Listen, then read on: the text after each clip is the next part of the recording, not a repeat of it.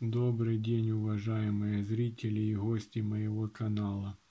Хотел бы с вами поговорить на такую тему, которая сейчас популярна и набирает обороты. Это люди, которые против Аватова.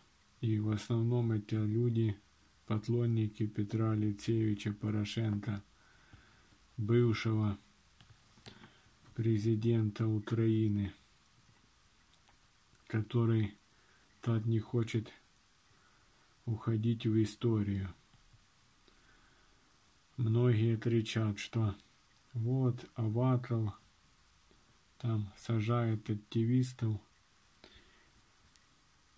воинов АТО и тому подобное. В течение пяти лет Аваков делал то же самое – с воинами АТО, с противниками режима коррупционного, с теми, кто имел свое мнение на какую-либо ситуацию в стране.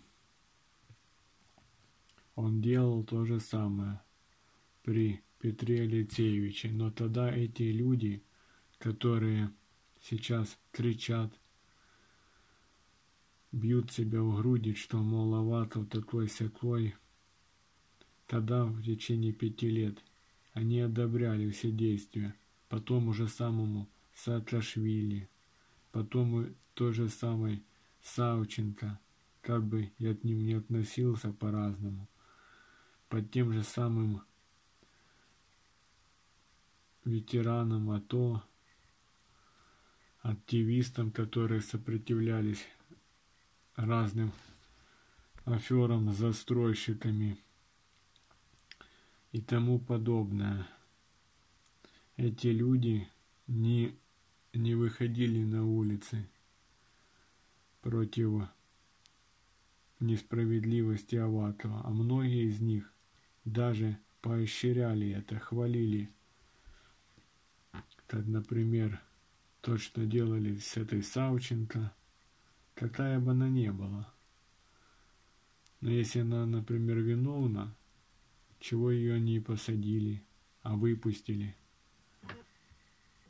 Того же самого Саакашвили гоняли по крыше, не дали ему в суде отстоять свои права.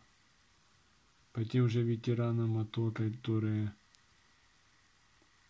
многие за ерундовые дела какие-то. Сиди, сидят в СИЗО.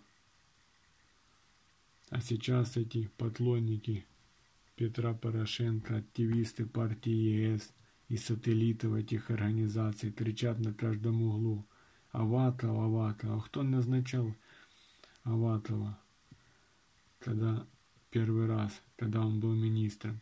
Чего они его не уволили? Чего его не уволили. Тогда, значит, он был выгоден, а теперь он не выгоден, так на него все это. Я считаю, что это кармическая такая ситуация, которая подтверждает законы Вселенной, можно сказать так, что поощряли то и хлебнете. Это мое такое мнение. Этот Таваков уже зубы сел на этих всех активистах и на этих всех протестах.